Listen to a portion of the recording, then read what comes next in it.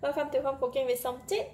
Today I'm going to cook a very simple spicy stir fry Yee Mee. This portion is for one serving. So I have one portion of the Yee Mee or dry eggs noodles, one stalk of spring onion. I have two stalk of kailan. This one I'm using only just um, the stem 2 tablespoons of garlic oil. If you do not have garlic oil, you can use just normal cooking oil. 1 tablespoon of oyster sauce. 1 tablespoon of crispy fried garlic. If you do not have the fried garlic, you can fry it right before cooking. I have 1 tablespoon of light soy sauce. 1 red chili cut into um, stripe. And I have 5 pieces of bird eye chili this recipe is slightly on to a spicy side. If you like to have it less spicy, you can adjust the chili accordingly. And I have about 50 grams of chicken slices and one chicken egg. Since we have already prepared all the ingredients, I like to soak the noodle with hot water first. Dry Yee Mee or egg noodles, right? It's very crispy, so before we can fry it, we need to soak it with hot water first for about one minute. So I'm just going to cover it with a plate. While waiting for the noodle to soak, I'm going to marinate the chicken with half of the light soy sauce.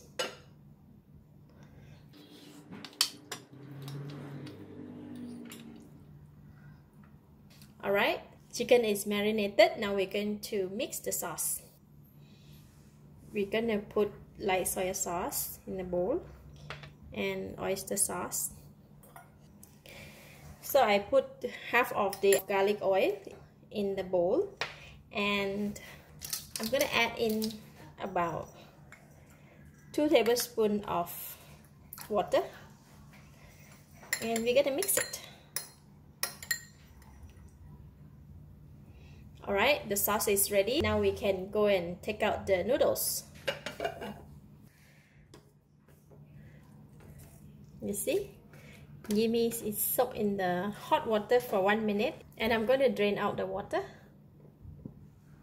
Heat the pan and I'm going to take just a little bit of garlic oil in the pan. Now we're going to cook the egg. I'm just going to cook the egg like that.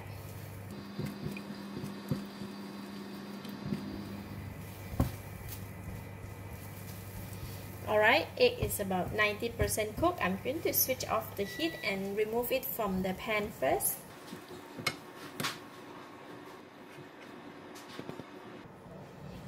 Just put it aside. In the same pan, I'm going to switch on the heat and put in a little bit more of about 2 teaspoons of garlic oil. And now we're gonna stir fry the chicken.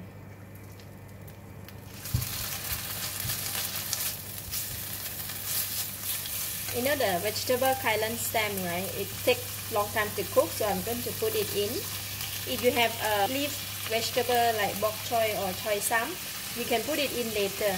But for this vegetable right it's taking longer time to cook so I'm put it together with the chicken. Just gonna add in a little bit of garlic. Put in all the bird eye chili.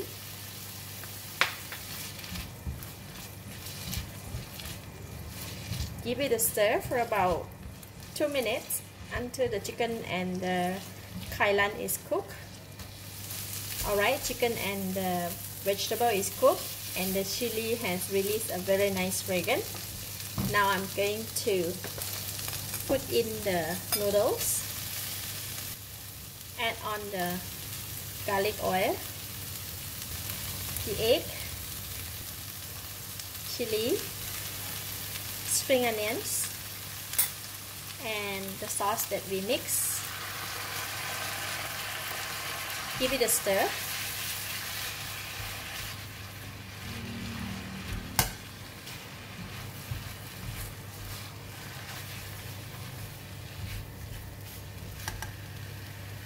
Now we're going to put in the fried garlic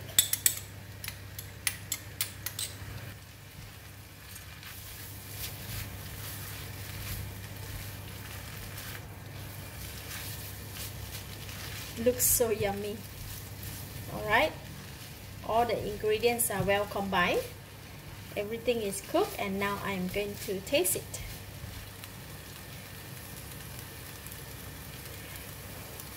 Mmm, delicious. Enough taste enough flavor. Spicy. Lovely. At this stage if you want to add any more seasoning? You can do so like sugar or you want to add in a little bit of sour lime is okay so but for this one the taste is alright I'm going to now switch off the heat this is best served when it's hot so I'm going to dish out and serve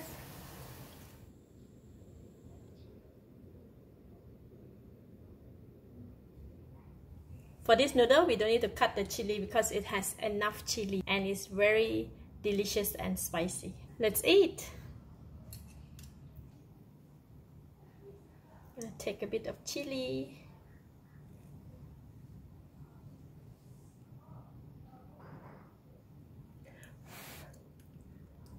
Mmm.